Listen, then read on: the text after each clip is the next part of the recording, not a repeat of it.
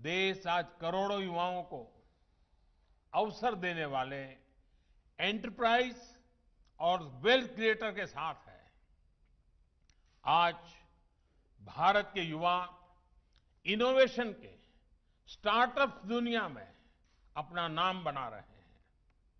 सरकार की एक एफिशिएंट और फ्रेंडली इकोसिस्टम बनाने के लिए निरंतर कोशिश जारी है। अब एसोचैम जैसे एसोसिएशन को, आपके हर मेंबर को भी ये सुनिश्चित करना है कि इसका लाभ लास्ट माइल तक पहुँचे।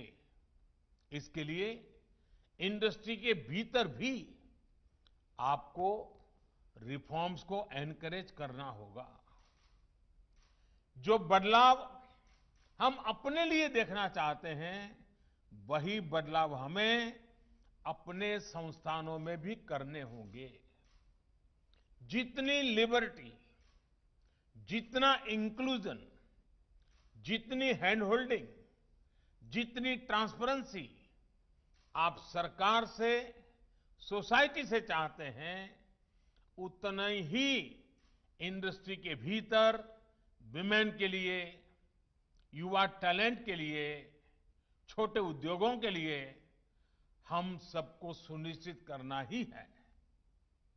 हमें कॉरपोरेट गवर्नेंस से लेकर प्रॉफिट शेयरिंग तक दुनिया की बेस्ट प्रैक्टिसेस को जल्द से जल्द अपनाना होगा। प्रॉफिट सेंट्रिक अप्रोच के साथ ही हमें उसे पर्पज ओरिएंटेड भी बनाने, बनाएँगे तो सोसाइटी के साथ ज़्यादा इंटीग्रेशन संभव हो पाएगा।